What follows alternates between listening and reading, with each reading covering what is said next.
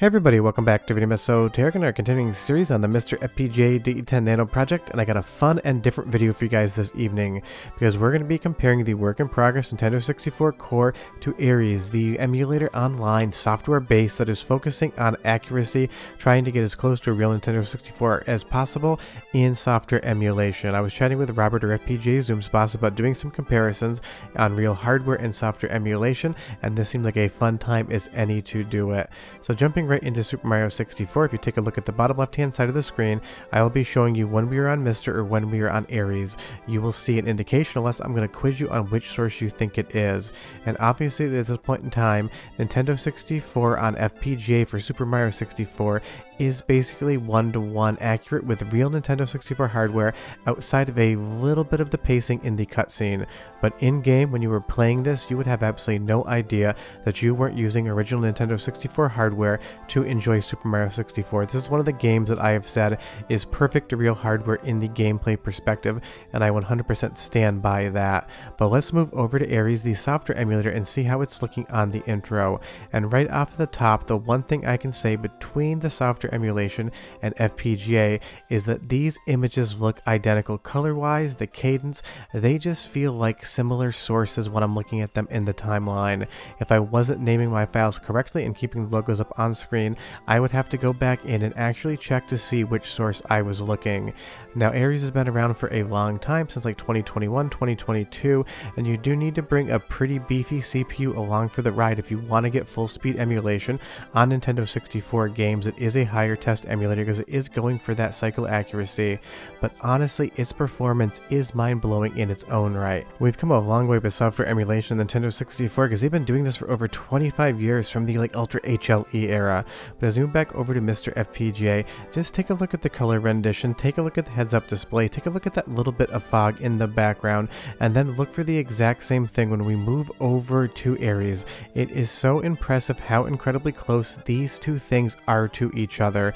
That is the real takeaway, at least at the start of this. There's definitely going to be some discrepancies here and there, and I will point them out, but I was expecting a bigger delta between one source to the other, and I was absolutely scratching my head in some instances trying to actually find the difference. And again, pay attention to that logo in the bottom left hand corner.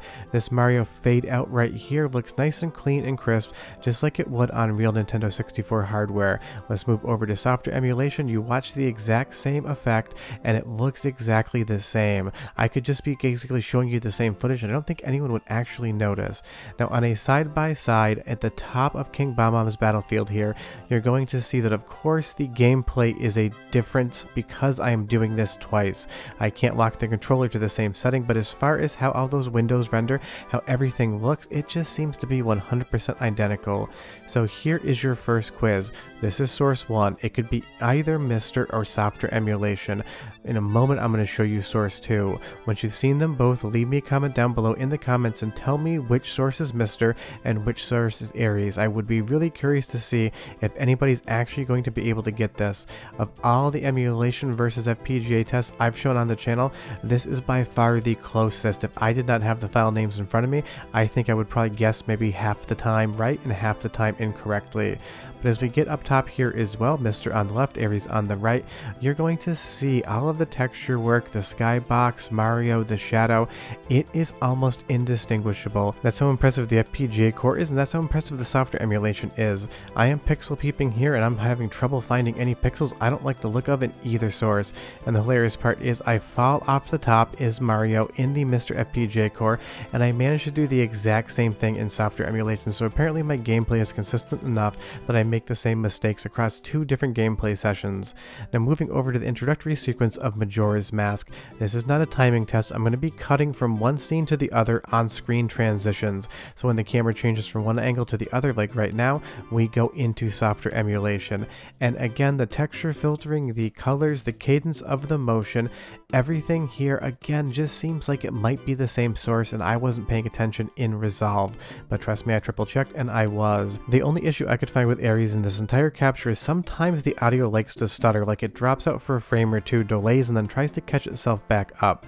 But that could just be a system resource issue as well. Maybe my antivirus has started running in the background and it took some system resources that it shouldn't have. So I can't really even say on the Ares side if that is a problem with the emulator. So I'm just giving that a pass.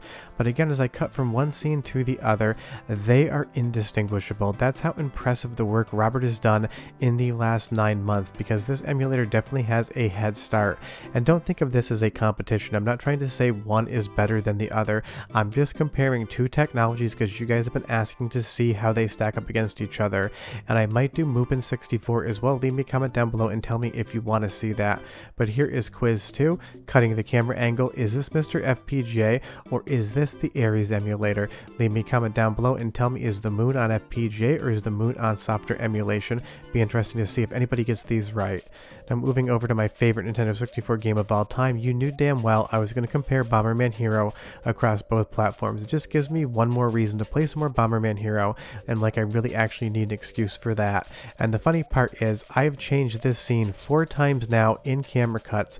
I haven't put the logo up, I haven't told you about it, I've just let it run. That's how incredibly close these two things are. I can cut back and forth between the two of them and actually not show you the logos, and just wait and see if you can actually tell I'm sure 100% of you can't. It was frame to frame accurate. But listen to some audio. This is a test. Listen closely and I'll be right back with more.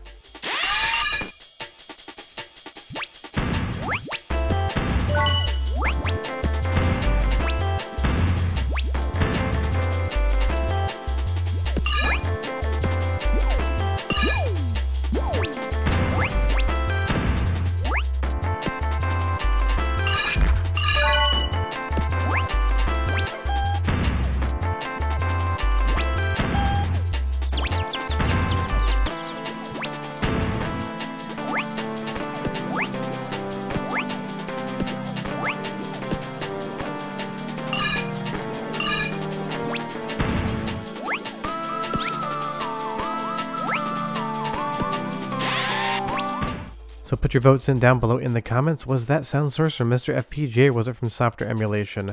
Because I've listened to the Bomberman Hero soundtrack more times than I would like to admit, and I can tell the difference ever so slightly, but I'm curious if anybody else can. But as I now go back to telling you what the source is, Ares or MiSTer FPGA, again, having played this game for more hours than I would like to admit or even know, it is so incredibly close. I can just basically transition from footage from one shot to the next, and if I didn't have the logos up on the screen again, I really wouldn't have to tell you what the source is whatsoever.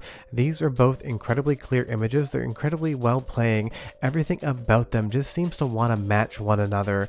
You'll see here as we come a little bit further up, all of that blur in the background, all of the texture filtering just looks like Bomberman Hero on MiSTer FPGA, and that's just how good this core has gotten. This is one of my favorite video games of all time, and my preferred way to play it now is MiSTer FPGA. As we move over to Star Fox 64, again, even though these do look similar, you do need to remember that they're using completely different technologies.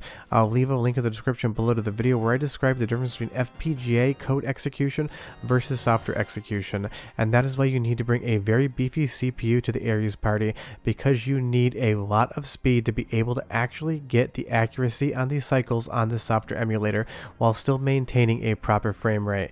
This is not the type of thing you want to bring a low test laptop to or an i3. I think you're probably going to have a very bad time, and I get that most people don't have the same system I do because I use mine for work, but do be aware that the results I'm getting are in part because I have a very powerful PC behind it. But as we move over to Ares again here, you see the moon logo in the bottom left hand corner. These again are so incredibly close, and that's just been so much fun to find out. And I do like these comparisons, and I know you guys like them as well. Just remember, I don't do them to try to find out fault in any sort of system. I just use it as a comparative analysis to see how things work under the hood and see how close they truly are And once the core is fully finished, I will definitely run a full suite of comparisons against this emulator and against real hardware. But the core is obviously still in active development, so this is just a quote unquote for funsies test. I'm just playing around, you guys wanted to see it, and I wanted to see it as well but it is just so much fun. You'll see here again, you can barely even see the transition. I actually did fade that out between one source to the other, but if you weren't paying attention, you barely even notice it. And the best part is I've been playing these games for so long for the core videos, I can basically play them the exact same way twice in memory, and that is a very difficult thing to do. But again, as we go through the world of Star Fox 64 here, it just looks incredible on Mister, and then we move over to Ares and it still looks great. It is so fun to see how far Nintendo 64 recreation and emulation has come. I remember like 2004 being at the Denver International Airport on a ski trip for work, and I was sitting there with my laptop trying to emulate Super Mario 64. It ran all of like 6 frames per second, and I was absolutely staggered that that was even possible in the first place. 20 some odd years later, and this is what we're looking at right now. But I'm going to give you guys one more test because I love seeing the comments come in and declaring the winner, and I will let you know the results of this, let's say 48 hours after the video goes live. So go ahead and listen to this sound source, and again, leave a comment down below, FPGA or software.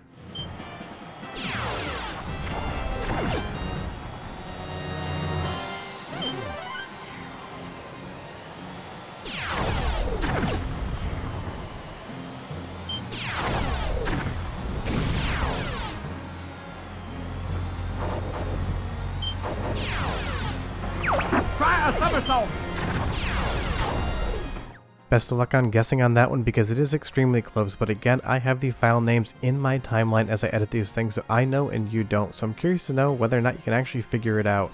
As we go through Star Fox again, ending on the MiSTer FPGA source, it is just so fun to be able to actually compare these two completely different things that are trying to achieve the same result and seeing how incredibly close they get. And that's the fun part. On this last shot here, not so much a quiz, I just pulled the logo off of the top just to play around and say, this could be MiSTer FPGA, this could be Ares, you really wouldn't be able to tell, even if you went frame by frame in this example, there would be nothing to notice because there is nothing to notice.